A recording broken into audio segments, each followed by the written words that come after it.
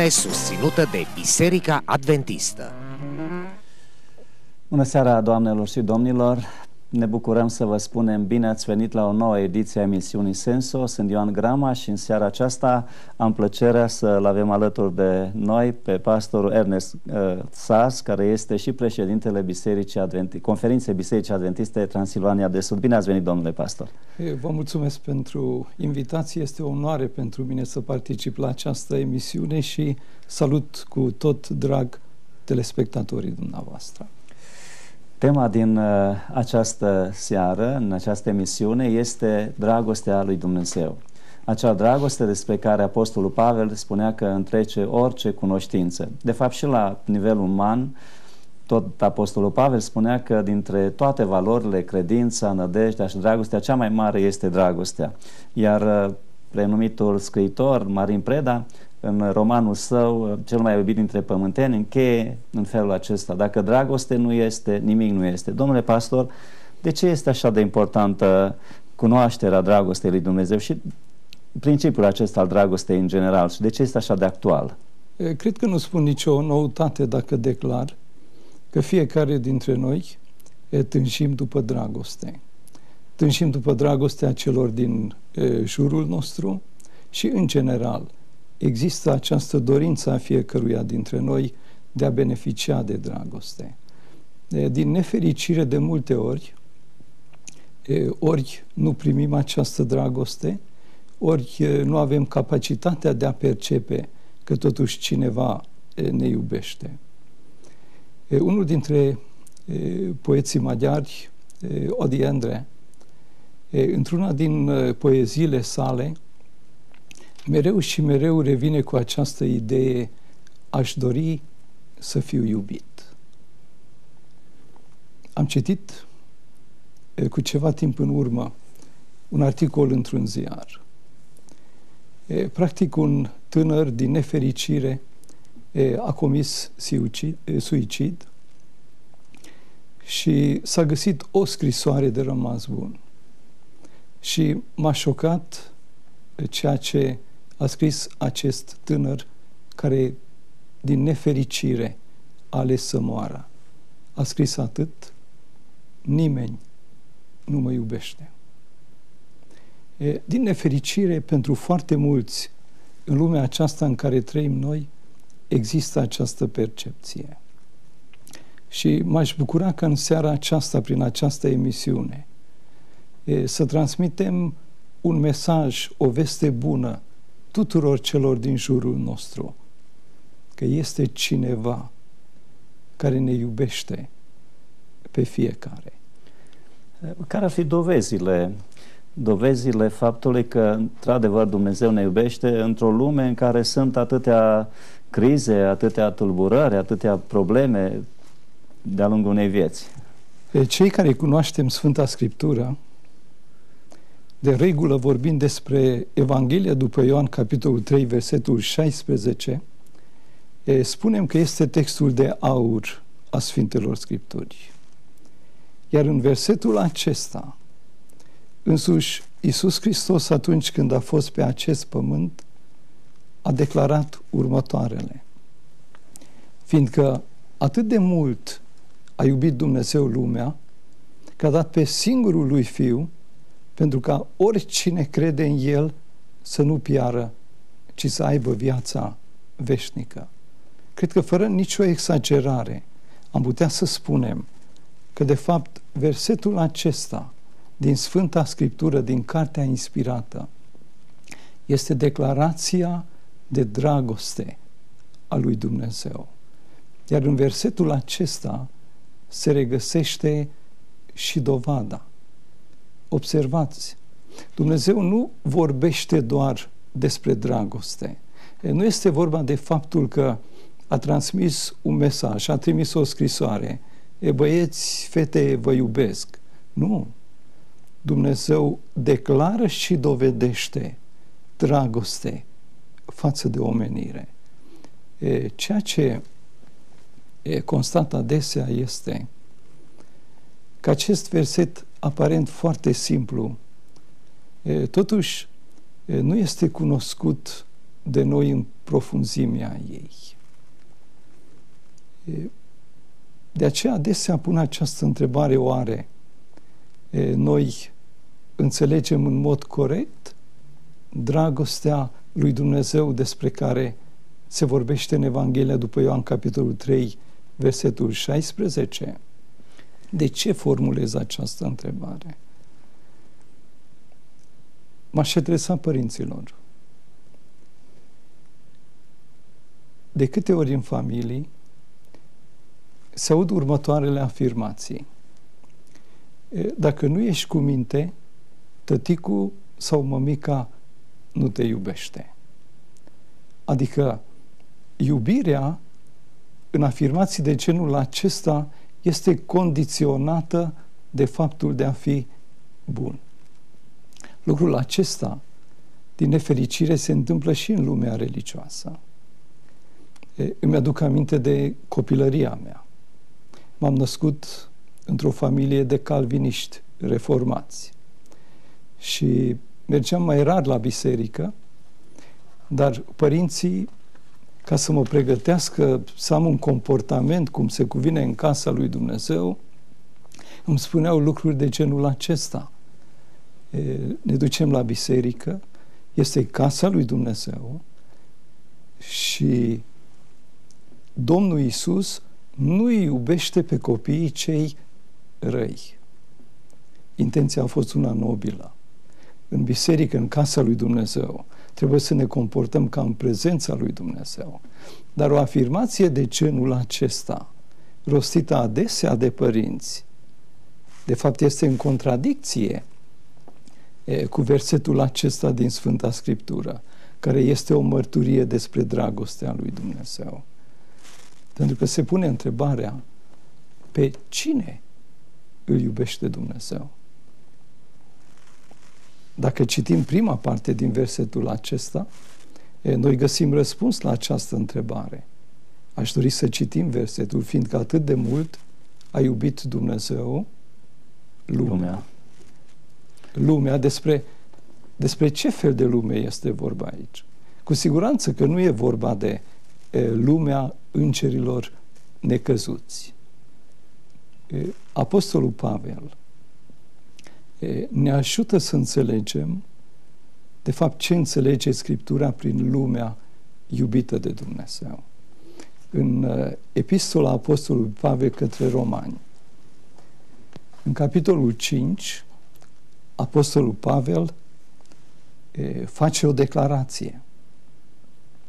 Dar Dumnezeu își arată dragostea față de noi prin faptul că pe când eram noi încă păcătoși, într-un alt loc spune, eram vrăjmașii lui Dumnezeu.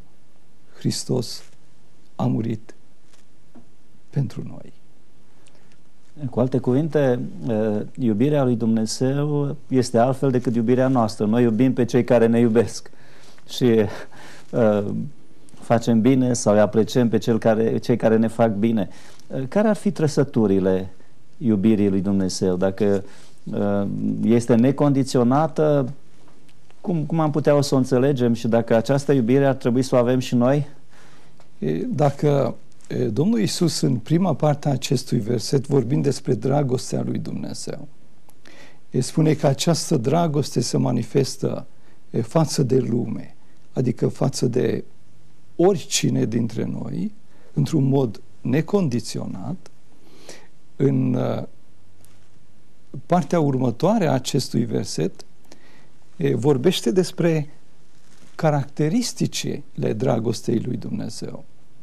E, probabil e, că pe unii din telespectatori îi surprinde ideea, dar versetul acesta de fapt spune că dragostea lui Dumnezeu este de așa natură încât se manifestă și față de cel nevrednic. Despre acest lucru vorbește prima parte, fiindcă atât de mult a iubit Dumnezeu lumea. Adică iubește și pe cel care nu merită să fie iubit? Aș dori să îndrept atenția, răspunzând la această întrebare, la una din cele mai frumoase parabole rostite de Mântuitorul Isus. Și aici mă refer la parabola despre fiul risipitor. E, îndemn pe telespectatorii noștri, dacă au posibilitatea și au Sfânta Scriptură la dispoziție, e, să deschidă la Evanghelia după Luca, e, la capitolul 15. Aici, începând cu versetul 11, se găsește această parabolă. Este vorba despre un tată. Este un simbol al lui Dumnezeu în parabola respectivă. Și acest părinte are doi fii. Din nefericire, și unul și altul este rău. În părinte cu doi fii. În prima parte a parabolei, Iisus vorbește despre cel tânăr, care la un moment dat apare în fața tatălui său și încerc să privesc imaginea respectivă. Poate dă cu punul în masă, își exprimă nemulțumirea, s-a săturat de ceea ce oferă căminul e, tatălui său și își cere partea din avere. Și apoi pleacă. Și ori de câte ori privesc și citesc din Sfânta Scriptură această relatare, încerc să-mi închid ochii și înainte de toate să-l privesc pe acest părinte. Iese după el. Îl conduce cu privirea până acesta dispare dincolo de zare. Și parcă îl văd cum ochii lui se umezesc de lacrimi și poate lacrimile îi brăzdează fața. Și mă întreb de ce? De ce plânge acest părinte? Oare plânge averea ce a fost luată? Și răspunsul parabolei este că nu. Părintele își plânge fiul. Dar băiatul acesta, care s-a comportat cum s-a comportat, a plecat cu averea tatălui său, el merită lucrul acesta? Și răspunsul unanim este că nu merită. Și atunci explicația se găsește în a doua parte a parabolei. Atunci când fiul se întoarce și tatăl face o declarație și răspunsul este simplu și aceasta este explicația. Fiul meu a plecat, s-a întors, fiul meu a fost mort și a înviat. Pentru că este fiul meu și lucrul acesta ca să iubești pe cel care nu te iubește. E greu de înțeles. Martin Luther, comentând versetul acesta, a făcut următoarea declarație.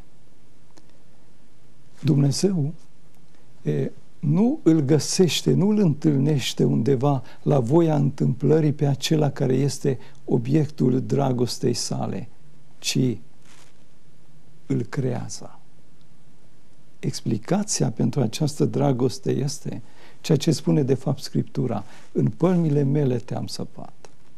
Ceea ce înseamnă creațiunea, Dumnezeu se raportează la noi ca fiind copiii săi prin creațiune și în același timp înseamnă Golgota, mâinile străpunse ale Mântuitorului pentru răscumpărarea noastră. Mulți spun uh, că dragostea ar putea să se constrângă. Adică de ce a dat libertate? De ce Dumnezeu nu intervine atunci când uh, se produc uh, atâtea atrocități, crime, lucruri rele? Dragostea dă libertate omului, îl lasă liber? Dumnezeu, cu ocazia creațiunii, a creat pe om cu liberul arbitru observați, Dumnezeu spune să nu faci lucrul acesta. Dar în același timp, dragostea înseamnă libertate de alegere. Iar Dumnezeu, nu pentru că își găsește plăcerea în ceea ce se întâmplă în lumea aceasta, dar Dumnezeu respectă alegerile noastre, dar prin dragostea Lui el încearcă să ne deschidă ochii și încearcă să îndrepte viața și pașii noștri într-o altă direcție. Vă mulțumim. Doamnelor și domnilor, ne oprim pentru o scurtă pauză publicitară, după care vom continua.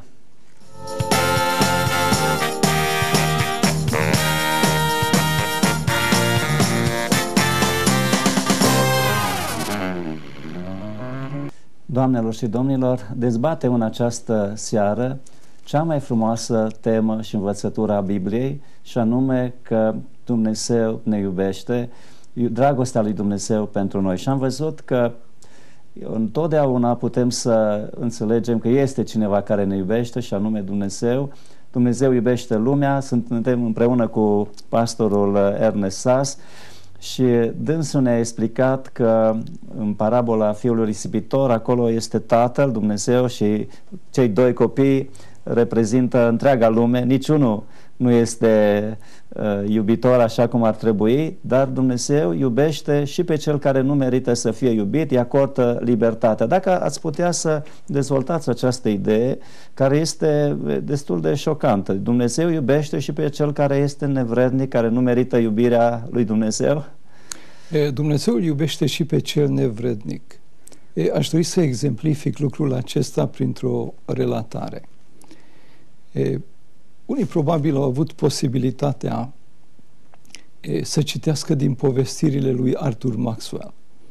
Arthur Maxwell e, a trăit în Statele Unite și e, a scris foarte multe e, istorioare cu multă învățătură pentru tineri și copii. E, într-una din ele e, relatează o experiență personală. E, a ajuns în Australia și de acolo, dintr-o localitate, călătorea cu autobuzul într-o altă localitate îndepărtată. Și în timp ce stătea pe scaun și citea ceva, e, fără să tragă cu urechea, dar a fost nevoit să asiste la un dialog, o discuție între o mămică și fetița ei. Și ceea ce a reținut Arthur Maxwell a fost că în timpul discuției ei de câteva ori această fetiță a revenit și foarte accentuat a spus eu și așa iubesc. Lucrul acesta a trezit curiozitatea lui Arthur Maxwell. Și după ce s-a terminat această convorbire în familie, s-a prezentat, a intrat într-un dialog cu fetița și a întrebat-o, spune te rog, pe cine iubești așa de mult? E deja la auzirea întrebării, ochii fetiței a început să lucească și buzele ei zâmbeau. Dar a fost mare surprinderea, surpriza pentru Arthur Maxwell când a auzit răspunsul. Pentru că răspunsul a fost pe cățelușul meu. Și Arthur Maxwell a întrebat, tu spunem da, nu toată lumea îl iubește? Fetița a făcut un semn discret către mămică și a spus, mămica nu-l iubește. Dar care este problema? Și fetița a început să povestească, știți, fetița este așa, cățelușul este așa de drăguț, este așa de jucăuș. Și de ziua ei, mama a primit niște papuci cadou din plus și știți, nene, cu dințișorii lui dulci, doar un pic iaros. Și mămica nu iubește. Și apoi a povestit și motivul pentru care tăticul nu iubește. Și Arthur Maxwell, fiind și un pedagog, a privit-o pe fetiță în ochi și a spus, totuși, nu ți se pare că acest cățeluș este prea șucăuș? La care fetița a spus, stând ușor pe gânduri, știți ce, nene? Nu numai că e șucăuș, dar e și rău. Uneori este chiar foarte rău. Dar eu și așa îl iubesc. Dragi telespectatori, Sfânta Scriptură atunci când vorbește despre mine și despre dumneavoastră, nu spune că suntem jucăuși, ci Scriptura declară că suntem păcătoși. Aici mă refer la cuvintele Apostolului Pavel din Romani, capitolul 3, versetul 23 unde spune că toți au păcătuit și duc lipsă de slava lui Dumnezeu. De, noi despre lucrul acesta vorbim. Acesta este punctul de plecare. Lumea despre care vorbește Scriptura, că Dumnezeu îl iubește, aceasta este lumea care a păcătuit. Și dragostea lui Dumnezeu față de mine și față de dumneavoastră, față de cei nevrednici, se manifestă. Uh, deci am uh, înțeles o parte din bogăția dragostei lui Dumnezeu, că acordă libertate, că iubește pe cel care nu merită, ne iubește pe toți. Ar mai fi și alte trăsături ale, cu siguranță sunt și alte, dacă vreți să dezvoltați și celelalte trăsături ale iubirii lui Dumnezeu. Aș dori să ne întoarcem la Evanghelia după Ioan, capitolul 3, versetul 16. Deci, prima parte, fiindcă atât de mult a iubit Dumnezeu lumea, de fapt spune, dragostea lui Dumnezeu este de așa natură încât se manifestă și față de cel nevrednic. A doua parte a acestui verset, aș dori să citesc partea aceasta, că a dat pe singurul lui fiu. Eu înțeleg de aici că dragostea lui Dumnezeu este de așa natură că se manifestă și față de cel nevrednic, dar în același timp dragostea lui Dumnezeu este dispusă la plată să plătească. Apostolul Pavel spune în Romani, în capitolul 5, în versetul 7, că poate, poate pentru un neprihănit s-ar găsi cineva să moară. Sau poate pentru un binefăcător, dar pentru un vrăjmaș. Iar aici intervine e, dragostea lui Dumnezeu. E, m-aș întoarce e, la e, pilda e, cu fiul risipitor ca să exemplificăm în continuare e, cum se manifestă această dragoste a lui Dumnezeu în sensul că este dispusă la plată. Am înțeles că fiul și-a cerut partea, a plecat. Scriptura relatează că el a risipit tot ceea ce a primit ca dar din partea tatălui. La un moment dat vine în fire. Este momentul când Duhul Sfânt îl conduce într-o direcție bună apare imaginea Tatălui și în mintea lui deja vorbește în sens pozitiv, în casa tatălui meu, argații duc mult mai bine decât eu aici, după ce am risipit totul. Apoi ia această hotărâre, mă întorc la tatăl meu și îmi voi recunoaște greșeala ce am făcut și voi spune că nu sunt vrednic să fiu un fiu, dar m-aș bucura să fiu unul dintre slușitorii, unul dintre argații lui. Și tânărul acesta, spune Iisus în parabolă, se întoarce. Și este extrem de important să vedem ce urmează. Are loc momentul întâlnirii. Fiul începe doar să mărturisească. De care este atitudinea tatălui? Cum se manifestă dragostea?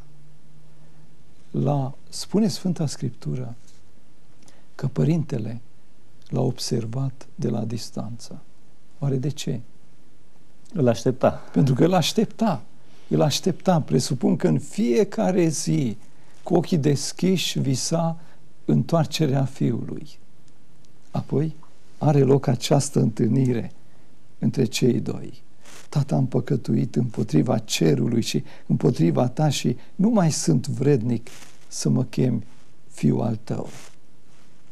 Iar începând cu versetul 23, găsim răspuns la întrebarea cine plătește? Cine plătește?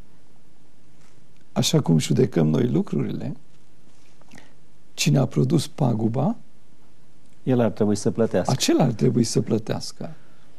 Și încerc să am imaginea acestui tânăr. Se întoarce slăbit, cu haine murdare, cu pantofi rupți, dacă mai avea în picioare ceva. Și cine plătește? versetul 22, dar tatăl a zis robilor, aduceți repede haina cea mai bună și îmbrăcați-l cu ea, puneți un inel în deget și încălțăminte în picioare. Cine plătește?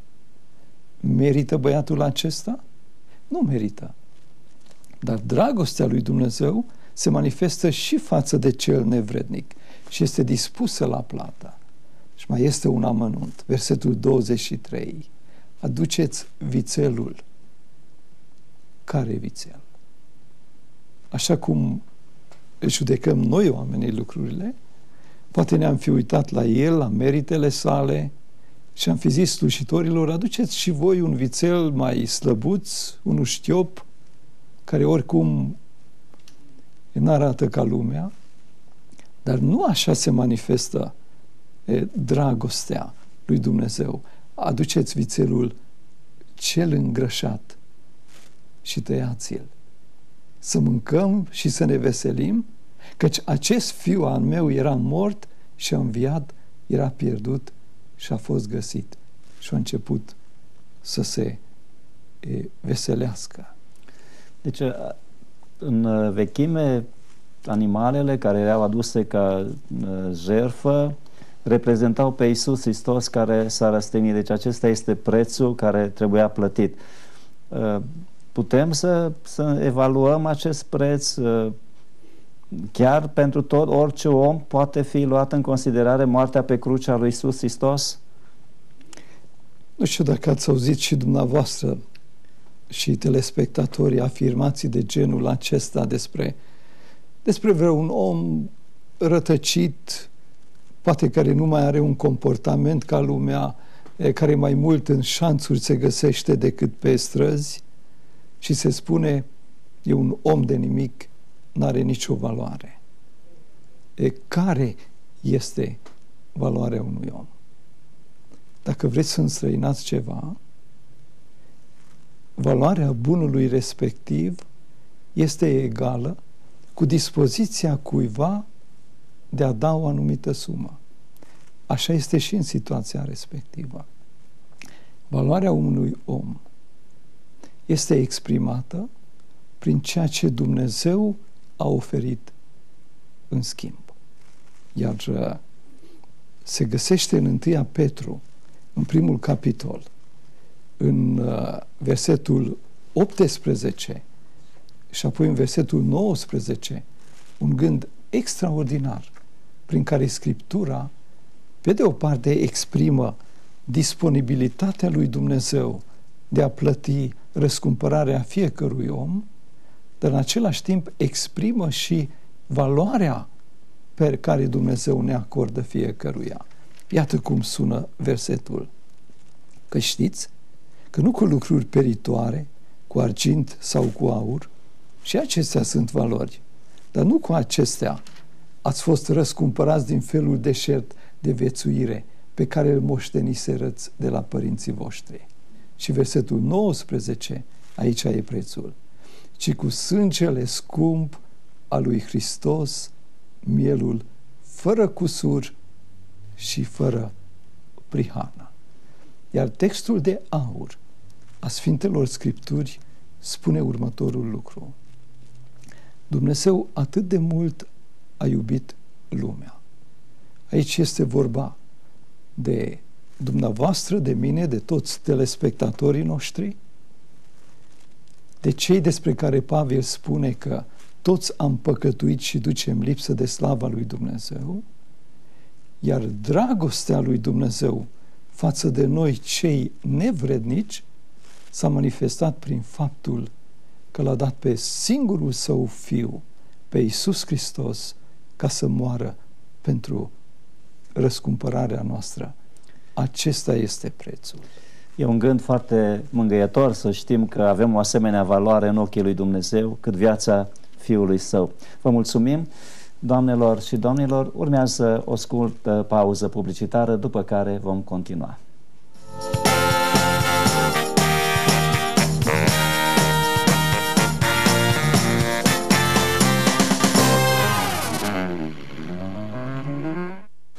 Doamnelor și domnilor, continuăm dezbaterea noastră despre dragostea lui Dumnezeu. Domnul pastor Ernest Sas ne-a arătat din cuvântul lui Dumnezeu că Dumnezeu ne iubește. Este cineva care ne iubește. Și apoi uh, a arătat că această iubire a lui Dumnezeu este uimitoare pentru că iubește și pe cel care nu merită să fie iubit și în dragostea sa pentru fiecare dintre noi a plătit un preț imens viața lui Isus Hristos, singurul său fiu care este egal cu Dumnezeu și ne-a arătat în felul acesta ce valoare avem în ochii săi, în ochii lui Dumnezeu. Ce altă trăsătură putem spune că are dragostea lui Dumnezeu față de noi? Dacă mă limitez la Evanghelia după Ioan, capitolul 3, versetul 16, acolo găsim trei caracteristici speciale. Am vorbit despre două dintre acestea, că Dumnezeu iubește și pe cel nevrednic, apoi am înțeles că dragostea lui Dumnezeu este de așa natură încât este dispusă la plată și ultima parte a acestui verset vorbește despre planul lui Dumnezeu. Pentru ca oricine crede în El să nu piară, ci să aibă viață veșnică. În termeni actuali, aș spune că dragostea lui Dumnezeu este de așa natură încât El asigură un cămin și în același timp un viitor. Care este scopul lui Dumnezeu pentru ca să-și reverse în asemenea măsură dragostea față de noi oamenii? În lumea aceasta materialistă în care trăim, e, văzând situații de genul că cineva oferă mărinimos, e, mereu și mereu suntem tentați să avem anumite rețineri și să spunem că e, cine știe e, ce urmărește dacă e, oferă lucrul acesta. În cazul lui Dumnezeu și e, de îndată voi răspunde în mod concret la e, întrebarea aceasta, e, lucrurile lucrurile stau diferit. De ce urmărește Dumnezeu prin faptul că El dorește să ne asigure un cămin și un viitor? Și când uh, vorbim despre lucrul acesta, nu putem e, să ocolim experiența fiului risipitor.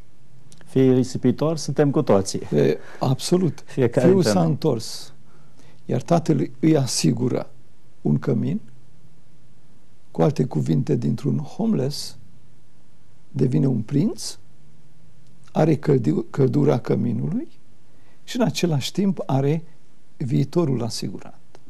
Apostolul Pavel vorbește despre căminul pe care Dumnezeu în mod neinteresat ne oferă și spune că ceea ce ochiul omului n-a văzut și ceea ce prin mintea omului n-a trecut despre așa ceva s-a îngrijit Dumnezeu.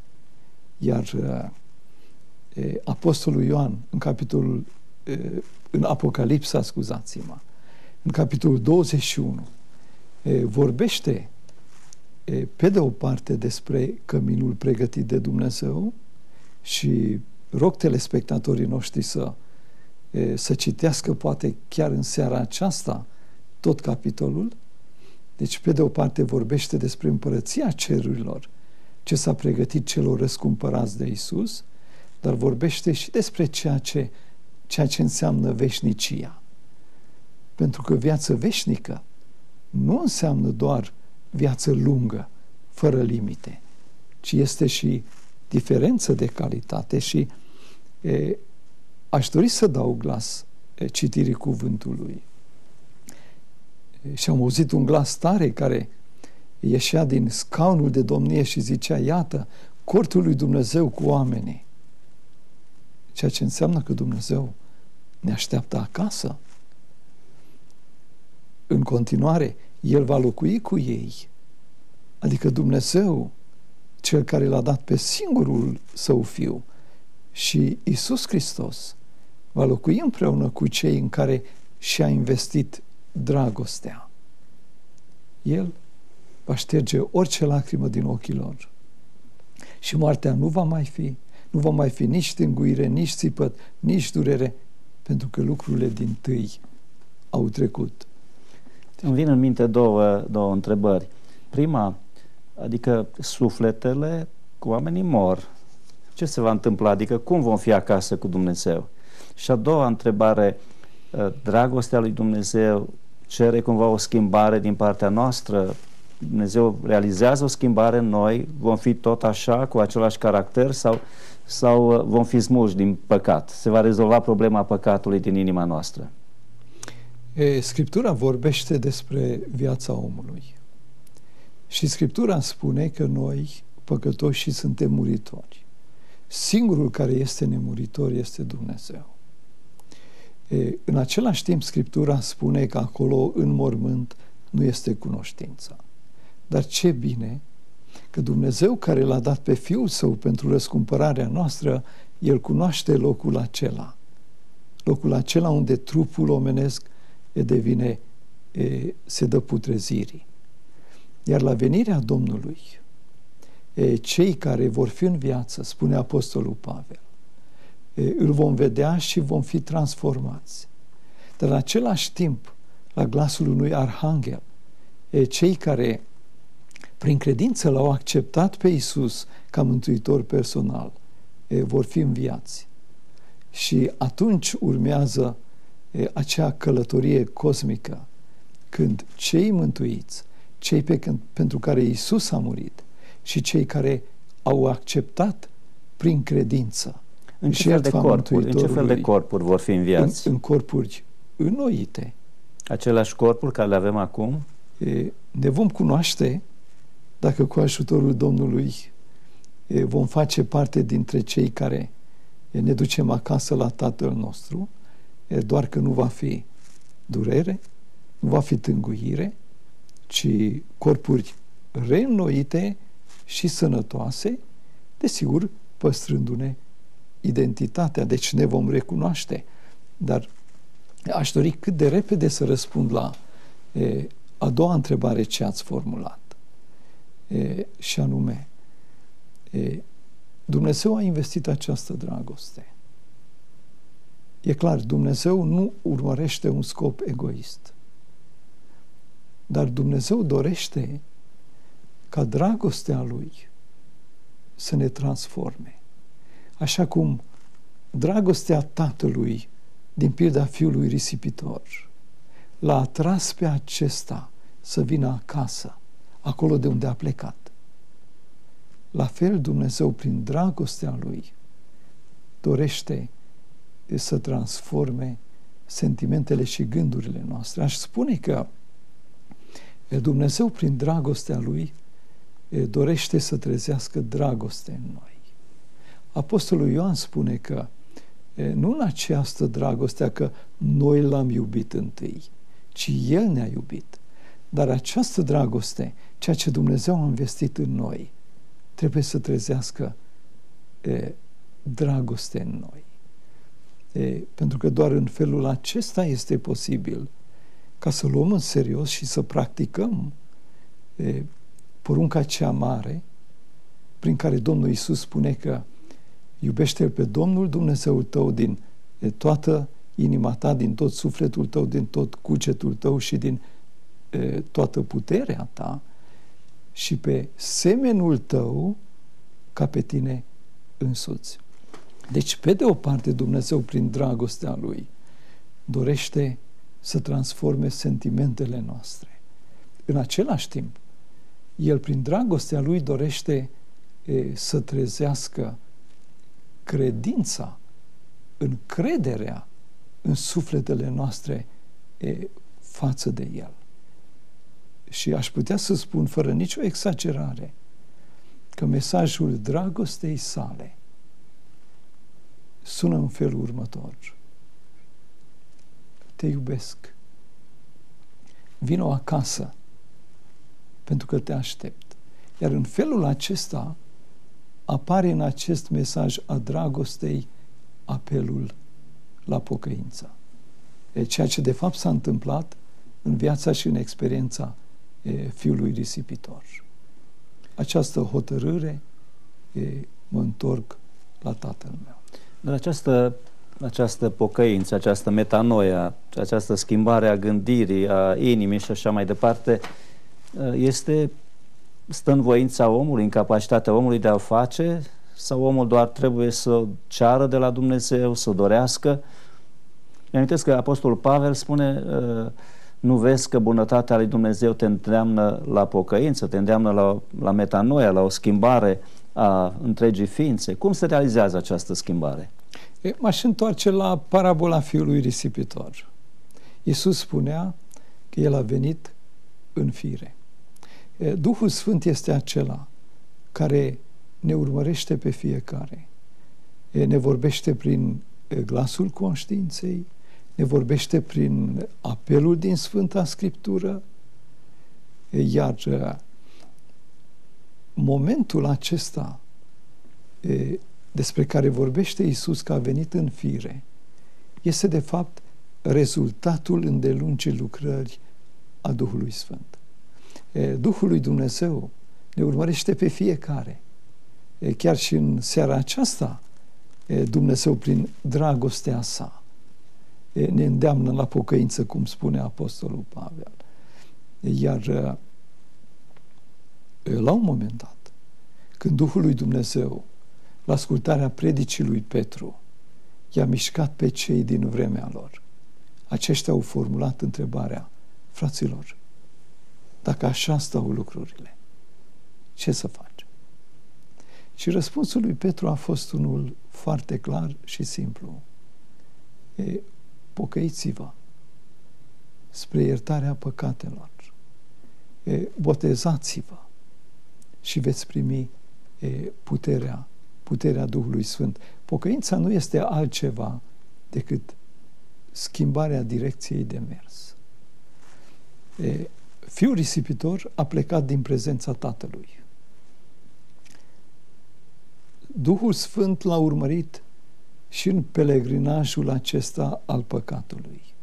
Apoi vine în fire și se schimbă direcția. Care este direcția? Îmi place în cartea profetului Osea, unde spune ad Iahve, nu spre Dumnezeu, ci până la Dumnezeu. Pentru că pocăința, și asta reiese din experiența fiului risipitor, înseamnă că drumul trebuie parcurs până la capăt. Aici este de multe ori problema noastră. E, renunțăm la ceva, e, nu mai beau, nu mai fumez și considerăm că am rea- s-a realizat în viața noastră e, experiența pocăinței. E, fiul risipitor a făcut stânga împrejur, a pornit până a ajuns acasă, pentru că acesta este momentul culminant e, al pocăinței. Când tatăl și fiul se întâlnesc și rămân împreună. Fiul mărturisește, tatăl îi acordă iertarea, îl îmbrățișează, îl sărută și rămân împreună în continuare și e, până în veșnicii. Această rămânere împreună, din punct de vedere practic al vieții de zi cu zi, cum se realizează? Relația cu Dumnezeu este una reală.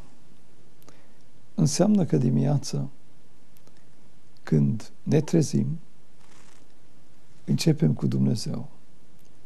Și acest început trebuie să fie mai mult decât un foarte scurt Doamne, Doamne, alergând să mai apucăm autobuzul e, care urmează să vină. Înseamnă o relație normală și într-o relație trebuie să investești. Înseamnă cuvântul lui Dumnezeu, înseamnă studiu, înseamnă rugăciune, ca e, ceea ce am citit dimineața să mă însoțească în cursul zilei. E, înseamnă umblarea cu Dumnezeu.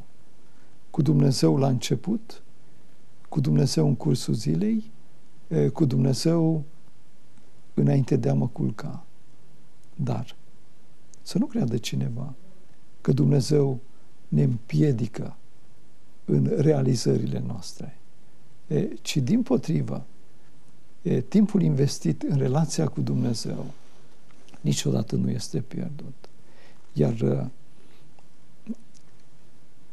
înainte de a e, încheia această emisiune, e, aș vrea să spun următorul lucru Vestea cea bună pentru fiecare dintre noi este că avem un Dumnezeu iubitor care pe fiecare ne așteaptă acasă.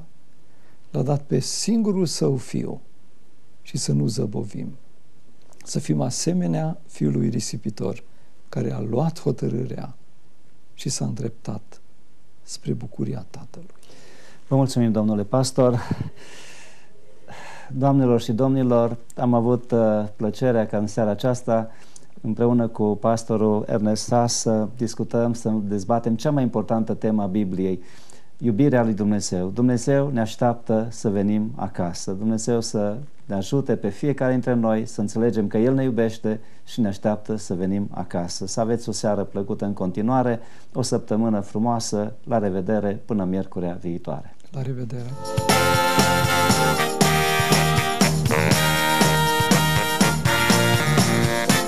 Emisiune susținută de Biserica Adventistă.